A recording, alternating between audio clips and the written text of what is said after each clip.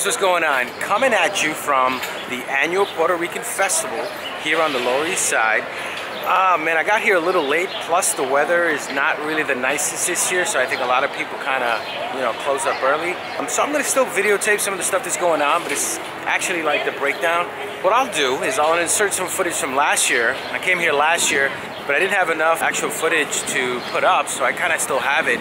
So it'll be a great opportunity to kind of show you guys what this is about and, you know, all the great food and, and people get together and they come here. It usually happens every year on Memorial Weekend. Guys, let me show you around and welcome to Side. This year marked the 31st year that the festival has taken place. It usually occurs the Sunday before Memorial Day. It opens up with a small parade led by some of the community members. It usually stretches about 10 blocks, beginning around 4th Street, ending somewhere around 12. There's usually a main stage at the very end of the festival where you can see some great performances from some local artists and sometimes some old favorites. I try to pass by every year, and I almost always come across a few friends that I haven't seen in a while who have left the neighborhood. Of course, there's always going to be great food at this event and lots of music. I even came across this beautiful car that I had to show you guys because I myself love Old Muscle. Stay tuned for some great footage that I collected last year, which really showcases a lot of the great food and people that come to this event.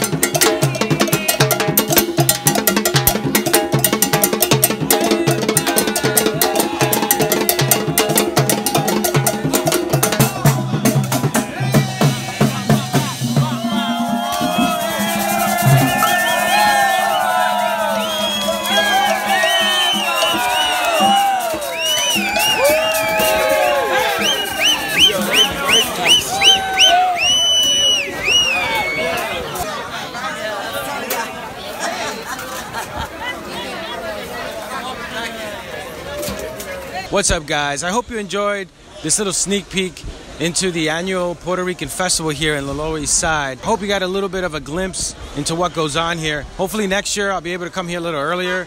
The weather will be a little bit more appropriate, and we get a little bit more of a feel of what this is all about. But it's a great place to come and check out the culture, the food, the people, and the music.